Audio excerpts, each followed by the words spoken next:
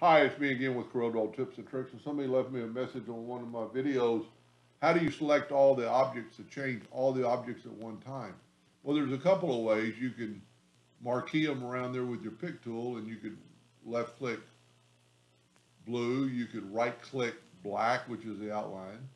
Or you can go to uh, uh, edit and select all objects. The text is an object, so we're going to change it to blue.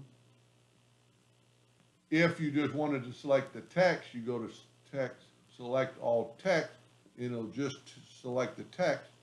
And you can always go Control A. Control A is almost in any program to select all. There's probably a couple other ways, but that's the quickest way for me. If I want that top row to be red, I just select that top row. If I want them all to be red, I select all of them.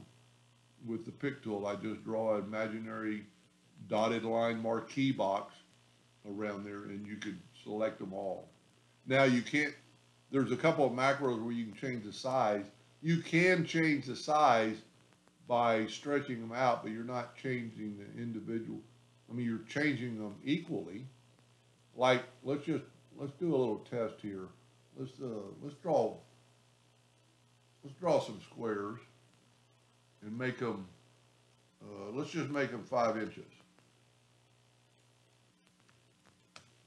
And then let's control D and make a duplicate. And let's, and then control D again. So I've got three five inch boxes. Okay. If you stretch them, you can make them all equally bigger.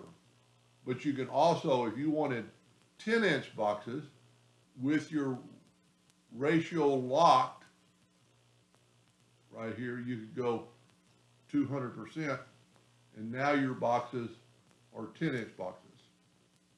Anyway, I hope that answered this question. Thank you for watching.